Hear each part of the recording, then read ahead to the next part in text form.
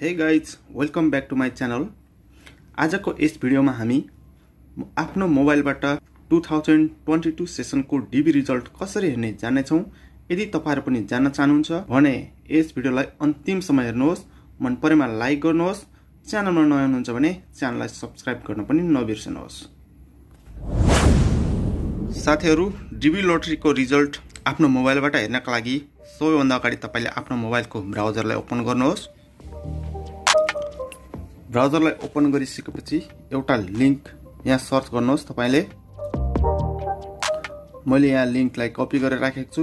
यो लिङ्कलाई म डिस्क्रिप्सन पनि राखिदिने छु। त्यहाँबाट पनि तपाईँ लिङ्कमा जान सक्नुहुन्छ। अब यो लिङ्कलाई म ओपन गर्नेछु। उक्त लिङ्कमा क्लिक गर्ने बित्तिकै यस्तो खालको पेज खुल्नेछ। त्यसमा अलिकति स्क्रोल डाउन गर्नुहोस्। तपाईँले चेक स्ट्याटस भन्ने अप्सन देख्न सक्नुहुन्छ। त्यसमा एकचोटि क्लिक गरिदिनुहोस्।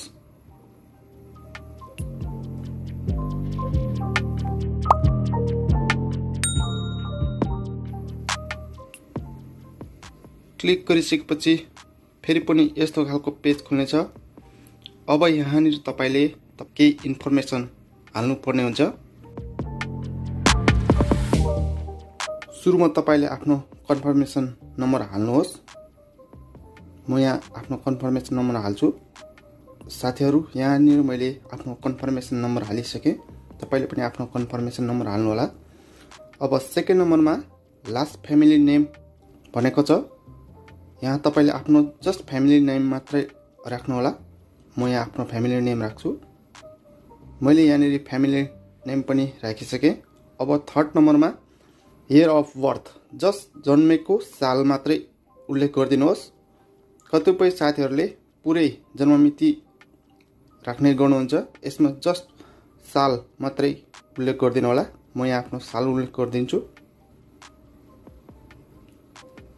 त्यसै गरी साथीहरू नम्बर चारमा अब एउटा रिक्याप्चा फिल गर्नुपर्ने छ उक्त रिक्याप्चालाई हामी फिल गर्छौँ। साथीहरू मैले यहाँ रिक्याप्चालाई इनपुट गरिसकेँ अब यहाँनिर तपाईँले सबमिट बटनमा क्लिक गरिदिनु पर्ने हुन्छ।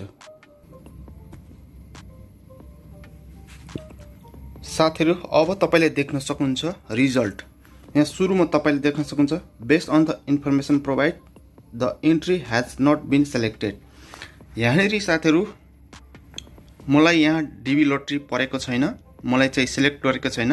यदि साथीहरू तपाईँलाई कसैलाई डिबी परेको छ भने यु हेभ बिन सेलेक्टेड भनेर आउँछ।